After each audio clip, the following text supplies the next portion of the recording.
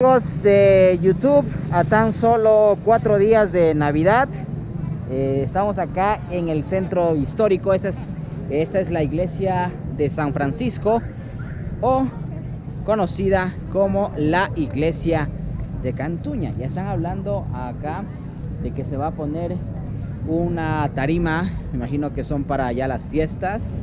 Eh, no sé la verdad eh, cómo está el tema de la bioseguridad eh, ya que se trata de evitar la aglomeración de las personas, ¿verdad? Y acá a mis espaldas está armando ya el árbol de Navidad.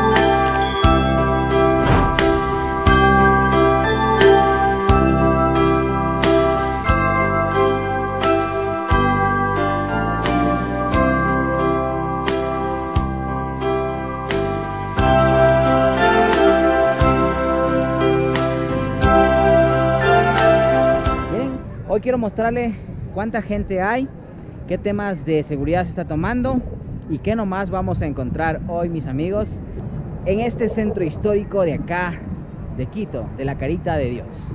Miren, esta es, amigos míos, la, la escenografía que se está acá armando. La verdad es que no puedo quitarme ni, ni la mascarilla para tratar de hablar un poco mejor porque eh, igual acá hay eh, personal de de la policía metropolitana que está como controlando eso de que no te saques la mascarilla para nada para, para hablar, ¿no? Y es que es un tema muy delicado ya que se encuentran muchísimas personas. Miren, este, esta parte de acá están armando eh, esta escenografía, por acá está la cabina de sonido y es desde acá, ¿no? Donde se van a presentar, imagino, artistas. Acá está, se está armando el árbol de Navidad que está muy grande, ¿no? Y bueno, mi gente, vamos a ver qué encontramos eh, eh, en todo el centro histórico, a ver cómo está la situación a comparación del año pasado, ¿verdad?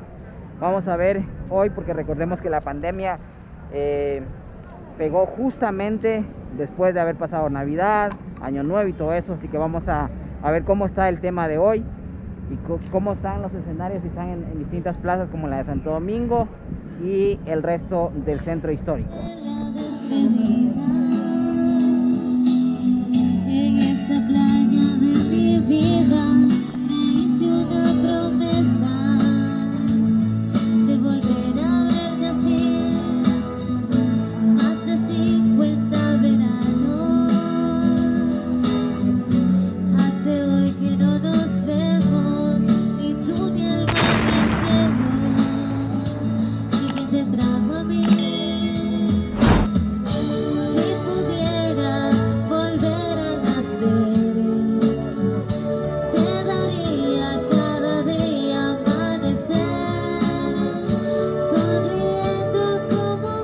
Hace unos, la semana pasada estuve por acá y en esta, en esta calle se estaban presentando números, artistas, había comercio y está todo, todo cerrado, así como está todo vacío, ¿verdad? No hay números ya.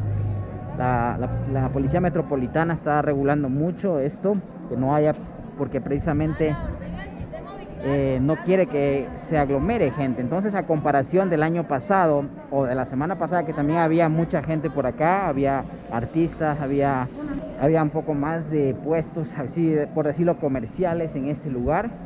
No, está, no se está viendo en este momento, más bien solo personal, muchas personas caminando por esta avenida, eso sí, todas con mascarilla por acá, ¿no? Bueno, vamos a ver qué, encontramos. Si encontramos más, mmm, qué sé yo, escenarios que se estén plantando ya que se van a transmitir virtualmente, según tengo entendido por el tema, como les digo, de la bioseguridad, mi gente. Bueno, gente, seguimos acá en esta avenida. Miren que hay bastante gente, a pesar de los temas de cuidado, ¿no?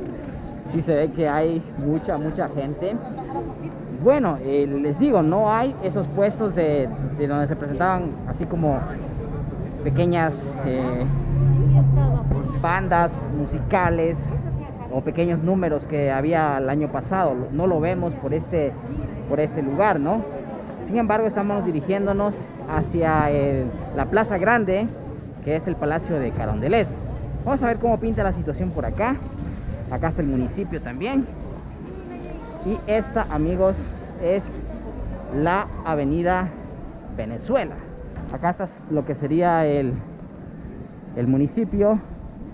A mi lado derecho vamos a encontrar el parque de la Plaza Grande, ¿no?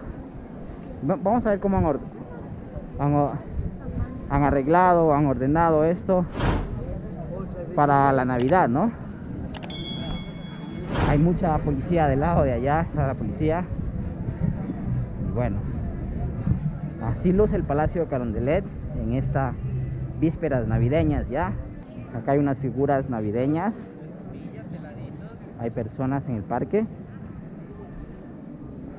Pero sobre todo hay estas grandes figuras.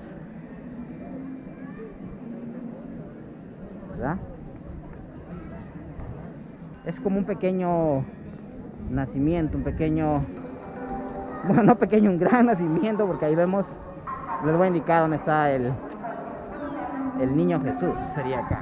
Miren. ¿Sí? Ahí está la estrella. Aquí me imagino que está José.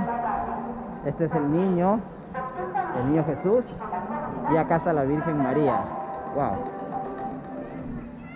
Bueno, continuamos bajando amigos por la calle Chile, que es una de las eh, vías más transitadas a nivel peatonal y al costado mío se encuentra igual el municipio, la parte de acá, pero no vemos igual algún número, ¿no? Solo hay personal peatonal, policías, vaya que se ha, se ha perdido bastante esto con con esto del, de la pandemia, ¿no? Se, se, han perdido algunos escenarios, algunos números que había por aquí especialmente, por la plaza grande, por el centro histórico.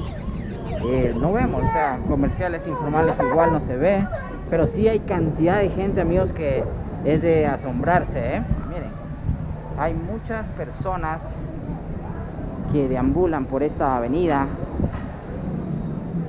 y es relativamente como que preocupante, ¿no?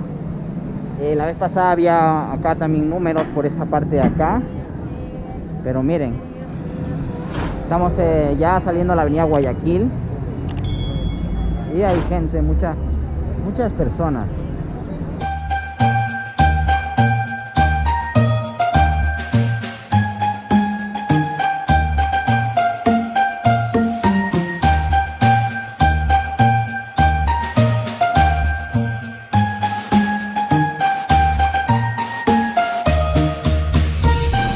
Qué bonita también es esta otra iglesia que vemos ahí adelante en avenida Flores. Y pasaje de espejo ¿eh? se ve muy bonita verdad bueno estamos aquí en la plaza de Santo Domingo al lado eh, izquierdo mío se ve el panecillo claramente. Acá está la iglesia también. Y bueno como ven en este lado no hay escenarios no están montando nada para eh, números de artistas. Más bien se mantiene reservado. Solo en, hemos visto en la iglesia de San Francisco una única tarima pero pequeña no miren esta es la plaza de Santo Domingo acá en Quito. No hay números como la semana pasada o a la diferencia del año pasado que esto era aglomerado de de muchos escenarios, muchos números que se presentaban por ahí.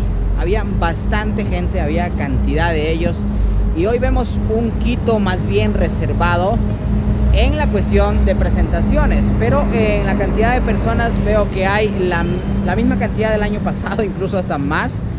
Eh, hay que decir que sí hay muchas personas eh, que están visitando ahora mismo el centro histórico.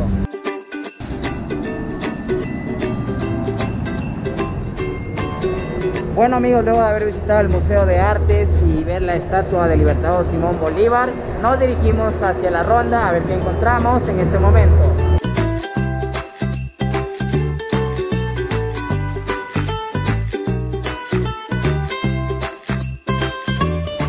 Miren amigos, nunca, eh, nunca vi una ronda tan vacía. ¿ah? Por ahí hay uno que otro local abierto así. Por lo general estos lugares saben pasar muy prendidos acá en la capital. Esto es conocido como La Ronda, ¿no? La Ronda es un lugar donde hay muchas hay muchos barcitos, muchos lugares que están abiertos precisamente a esta hora para que la gente venga, eh, visite, conozca, coma, incluso baile, porque aquí hay muchos sitios donde se puede bailar, pero con esta eh, pandemia estamos, vemos todo cerrado por acá, atravesando hoy por hoy, totalmente cerrada casi, ¿eh? totalmente vacía, a vísperas de Navidad. Vemos todo cerrado por acá.